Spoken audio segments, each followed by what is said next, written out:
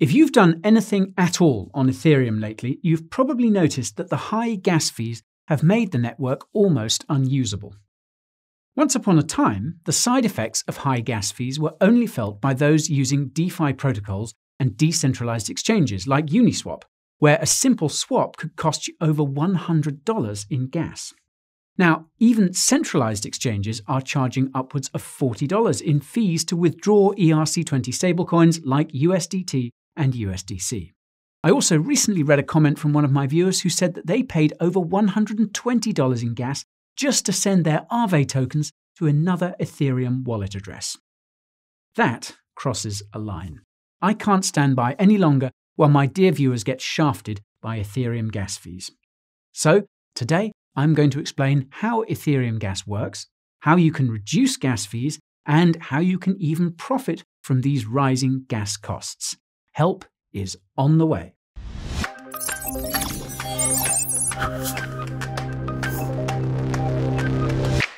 Before I set the stage, I need to make sure we're on the same page. If you're here for financial advice, I'm afraid you won't be getting any. That's because I am not a financial advisor, and nothing that comes out of this mouth is financial or investment advice. This video is for educational purposes only, and if your financial advisor is lacking in that department, well, be sure to send them this video to help them out. Sharing is caring after all. If this is your first time seeing my face, then allow me to show you around my space. My name is Guy, and I am the lead detective here at the Coin Bureau. I do whatever it takes to bring you the quality crypto content you yearn to taste. Cryptocurrencies, DeFi protocols, exchanges, news, NFTs, and market analysis are just a few of the items on my bottomless menu. So if your hunger for crypto is as big as mine, subscribe and ping that notification bell to get a chime so that you always see these videos on time. And speaking of time, I've left a few timestamps below that you can use to make sure you don't get lost. It has happened before. Don't ask me how. Anyways, I think that's enough hot air for now. Right, let's step on that gas. Like every other cryptocurrency, the Ethereum network has transaction fees known as gas. Ethereum gas fees are measured in a unit called a gigawei, or gwei for short. Wei is the smallest denomination of the ETH cryptocurrency. One wei represents one quintillionth of an ETH, and one gwei is one billionth of an ETH. These gas fees are paid to Ethereum miners to ensure that your transaction gets processed. In other words, to ensure that transaction is included in the next Ethereum block. Now, it's often said that Ethereum miners set the gas fees, but this isn't entirely correct. Ethereum miners vote to set something called the gas limit, which is how much gas can be included in each Ethereum block. Back in the day, this gas limit was around 3 million gwei per Ethereum block. Today, the gas limit is over 12 million gwei. If you're wondering why miners would increase the gas limit, it's because it allows the Ethereum network to squeeze in more transactions per block. This theoretically makes the Ethereum network slightly cheaper and faster for users without sacrificing transaction fee profits for Ethereum miners. The problem is that increasing the gas limit also raises the barrier to entry for new Ethereum miners, and Ethereum nodes, which threatens the decentralization of the Ethereum network. Increasing the gas limit also doesn't change the fact that there is limited transaction space in each Ethereum block. Even with a higher gas limit, if the Ethereum network is busy enough, it means you're going to be paying a premium to get the Ethereum miners to include your transaction in the next Ethereum block. A few hundred gwei in gas fees isn't much when the price of ETH is low, but when ETH is pushing past new all time highs, like it is now, it can cost a pretty penny in dollar terms. Naturally, the more complex the transaction, the more Ethereum gas you're going to need to pay to get that transaction included in the next block. It currently costs hundreds of dollars in ETH to interact with most DeFi protocols. This is essentially limited Ethereum DeFi to people with very deep pockets, aka whales. Now, that said, there are many ways you can reduce these insane Ethereum gas fees. Almost every single Ethereum wallet in existence lets you set your own personal gas limit before sending a transaction. The gas limit you see in wallets like MyEtherWallet and MetaMask is different than the gas limit set by miners in each Ethereum block I mentioned a few moments ago. Your personal gas limit is essentially the maximum amount of Gwei that you're willing to pay for that transaction to go through. A lot of Ethereum wallets will give you the option to send your transaction at a slow speed, regular speed, or fast speed. Now, believe it or not, most of the time, the gas fees they give you for each of these transaction speeds are not always up to date. Now, that's no fault of their own. The amount of gas you need to get a transaction through actually fluctuates from block to block. That's why the first thing you should do before sending an Ethereum transaction from a wallet is to check a website like ETH Gas Station to see the most up to date gas fees. Pro tip you can download their browser extension plugin so you always have those gas fees handy.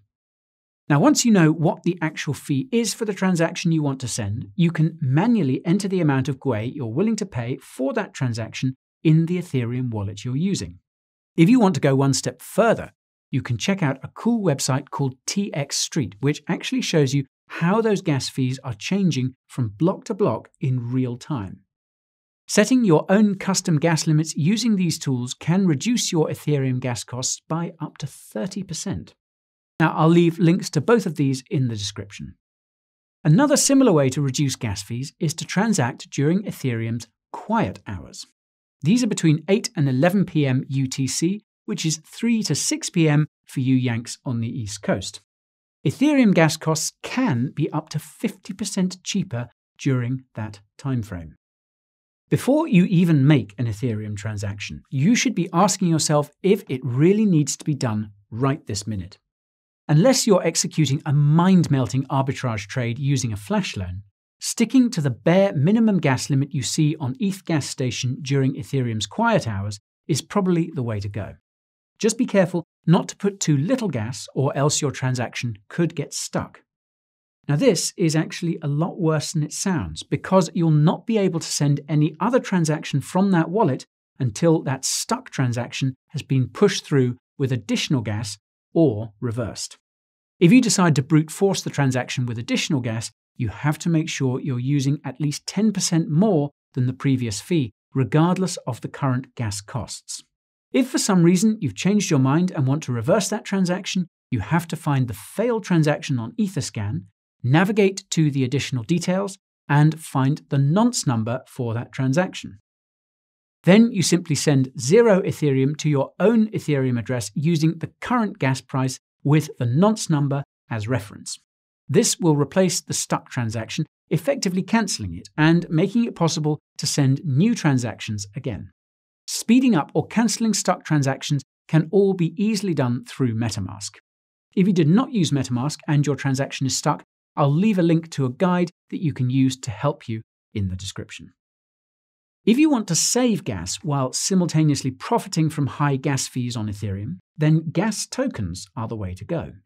The first gas token was invented in late 2017 by a group of blockchain researchers from various top tier universities around the world, including Cornell and Stanford.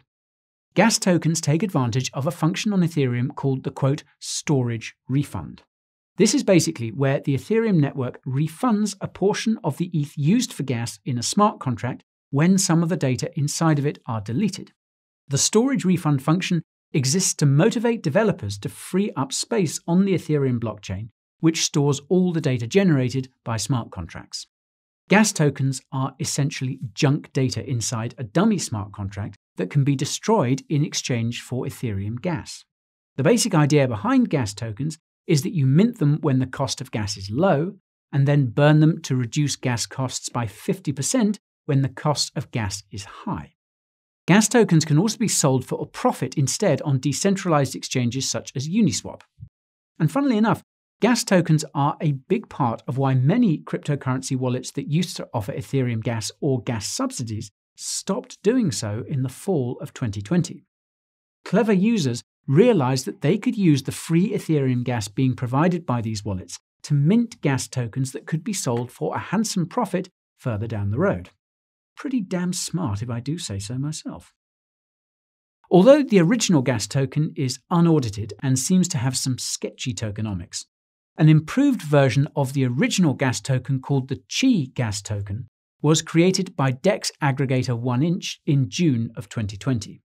The Chi gas token has pulled an impressive 20x since the fall and continues to rise in accordance with Ethereum's gas fees. The Chi gas token can be minted using ETH on the 1inch exchange, and you can mint up to 140 Qi at a time. Now, before you run off and fill up your bags, be aware that minting these gas tokens ironically requires a lot of gas. To just break even on the minting, the dollar value of Chi would theoretically have to grow by more than 50%. Luckily, you can set limit orders on 1inch to automatically sell that Chi when it's the higher price you're shooting for. If you're buying Chi to save on gas costs, you can use it on the 1inch exchange or Curve Finance to save up to 40% on gas. If you need to use gas tokens in other DeFi protocols, then you'll have to use the original gas token. I'll leave a link to an article to help you with that in the description if you need it. And if you're unfamiliar with 1inch, then I suggest you pop open a new tab using that link up in the top right and learn about this amazing protocol. The last thing you can do to save on Ethereum gas fees is to use a layer 2 scaling solution. The most relevant example here is probably Loopring. In addition to being a decentralized exchange, Loopring also allows you to transfer ETH and LRC to other users with zero fees. Getting your funds into Loopring does cost gas, however, so whether you use this solution really depends on your endgame. If you're constantly transferring Ethereum based funds to other people, Loopring is probably your best bet. You could load up your account in advance when Ethereum fees are low, and then send those assets later with no gas. Loopring could also come in handy when the time comes to sell.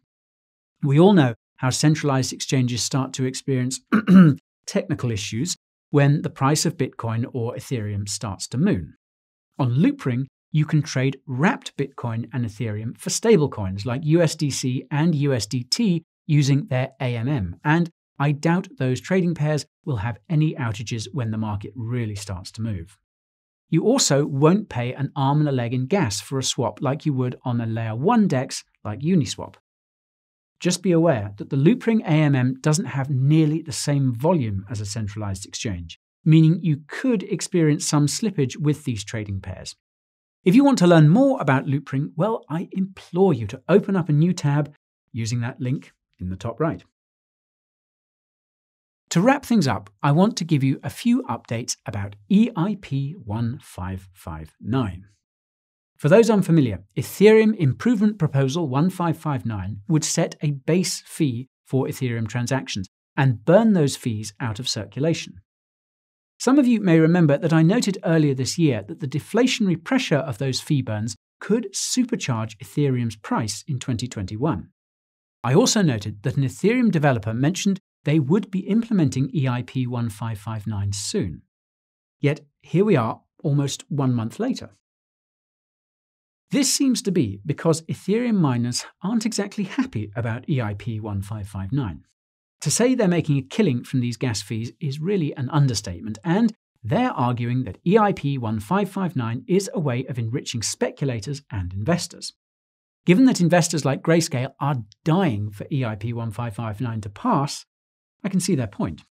A recent tweet by Ethereum developer Tim Beiko suggests that they're still pressing forward with EIP 1559 and that we will see it, quote, ready to be considered for mainnet sometime in March.